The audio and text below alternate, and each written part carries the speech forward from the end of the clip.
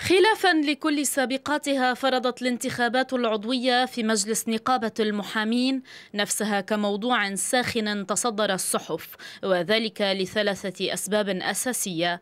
أولها احتدام المعركة بين 15 مرشحا تقلصوا إلى 12 ثانيها إجراء الانتخابات إلكترونيا للمرة الأولى. وثالثها تزامن الانتخابات وفضيحة الهدر المالي بقيمة أربعة ملايين ونصف مليون دولار أو ما بات يعرف بقضية التأمين التي يضج بها محامو بيروت غير أن مصادر الجديد كشفت أن المبلغ الفعلي يناهز سبعة ملايين دولار. اخذين قرار بمجلس النقابة وبتمني من النقيب الشيخ أنطونيو الهاشم أنه ما نحكي بالموضوع. بس أنا حبيت أوضح أنه انعمل عرض إنه تمديد ثلاث سنين من شان إنه هالمبلغ هيدا اللي سميناه عجز 4 ملايين وشي إنه آه، بدوب من هلأ ل آه، ست سنين. فريق الاتهام يلمح إلى صفقة مشتبه فيها أدت إلى هذا العجز ويهدد بالمواجهة يوم الانتخابات فيما يحاول البعض الآخر تهدئة الأوضاع. موضوع التأمين الصحي هو موضوع تجاذب بين المحامين آه، ولكن سعادة نقيب المحامين الشيخ أنطونيو الهاشم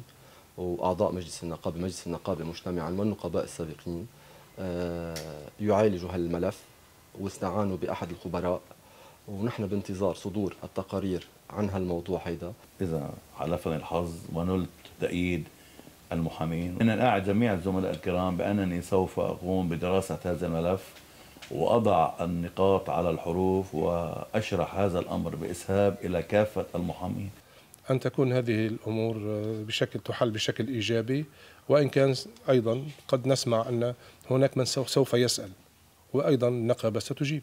أنا بعتبر أنه هذا الموضوع شأن نقابي داخلي مش إعلامي. بين التحالفات السياسية والمستقلين أكدت مصادر الجديد أن الأعضاء الفائزين سيكونون من بين هذه الأسماء الستة فقط وهي ربيع معلولي مرشح التيار الوطني الحر جورج أصفين مرشح الكتائب عبد لحود المدعوم من القوات اللبنانية علي عبد الله مرشح حركة أمل والمستقلان اسكندر إلياس وإلي بازرلي ليال سعد قناة الجديد.